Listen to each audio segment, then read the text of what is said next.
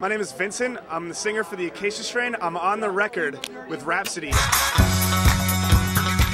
My favorite record is Humanity is the Devil by Integrity. Three, two, one, go. Basically, it's my favorite record because it's some it summarizes basically everything that I feel about the human race, and uh, I base the last three records that we wrote on this one 20 minute album. So there you have it.